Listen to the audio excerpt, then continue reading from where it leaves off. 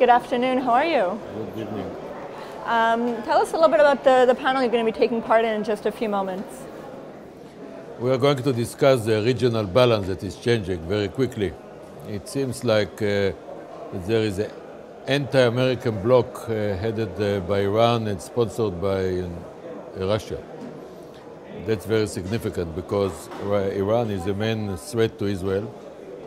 They're developing very quickly. The Russians uh, share sympathy with Israel, but they are considering Iran as the main strategic partner. And Iran's intentions vis-à-vis Israel are well known. Israel must disappear. And we are not going to cooperate with it. Namely, we are going to do our best to prevent it and to preempt it. And do you think that we can speak with the Russians and have more influence with the Russians to maybe move them away from their cooperation or their working alongside the Iranians?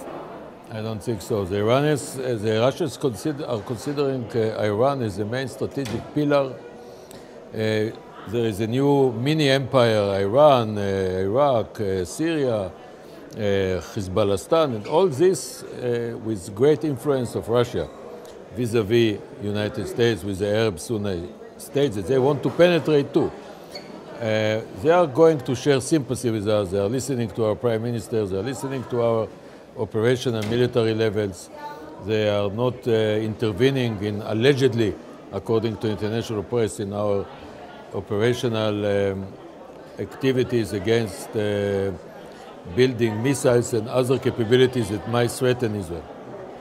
And do you think that the United States under President Trump will have more of a, you can say, growing presence once again in the Middle East, or will they go back and, and stay America the United first? States cannot uh, disappear from Middle East because the Middle East will change it. This is the worst area. If you leave the Middle East, the terror, for example, will find you in Times Square. They cannot. And they do have vested interest in the Sunni Arab world. So it's impossible, and vis-a-vis Iran. This is very important area. You cannot disappear from it. And there have been recent reports that Iran is building a missile factory in Lebanon, uh, probably because of those alleged strikes that Israel is carrying out in Syria.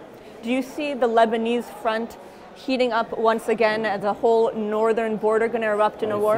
Today one front, that's the difference. It's Hezbollah, independent entity within the so-called Republic of Lebanon that is only constitution without state and they are trying to build another Hezbollah in Syria and Golan Heights, together with the whole empire, that emerging Iranian empire, that is getting more and more power with missiles, with influence, with area, and with determination based on the agreement with um, uh, President between Obama and Iran to develop nuclear, or at least they think they are privileged or entitled to develop a nuclear uh, weapon uh, 10 years from the agreement, namely eight years from now.